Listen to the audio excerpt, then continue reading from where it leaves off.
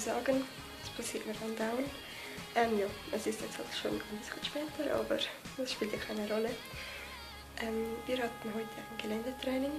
Mit, also ich und Jurio und meine kleine Cousine mit Elechido. Das ist ein Pferd aus unserem Stall. Und ja, für Jurio war es das erste Mal. Aber er hat das eigentlich sehr, sehr gut gemacht. Und ja, es wäre einfach ein bisschen schöner, wenn er etwas mehr selber galoppieren würde und nicht immer buckeln. Das wäre schon wirklich super. Und ähm, ja, meine Cousine hat es auch sehr gut gemacht. Ähm, ja, das Pferd, das sie geritten hat, kennt das halt. Alter, kennt das halt schon.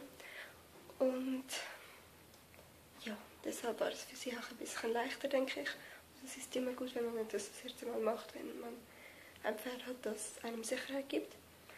Und ja, Jure konnte sich dann auch hin und wieder mal hinten anhängen, damit er etwas besser springt und nicht das Vertrauen daran verliert, zum Beispiel bei den Gräben. Ja, Gräben sind halt so eine Sache. Ich denke, es ist eher was Reiterliches, weil ich jetzt auch nicht so der, wie heißt das auf Hochdeutsch, Springer bin, der Gräben springt. Also Festhindernisse macht mir eigentlich nichts aus, aber Gräben, das ist was anderes. Und ja, aber ich bin eigentlich sehr zufrieden und ja, ich dachte, ich nehme auch mal mit, aber leider konnten wir nicht so viel filmen. Aber ja, bye.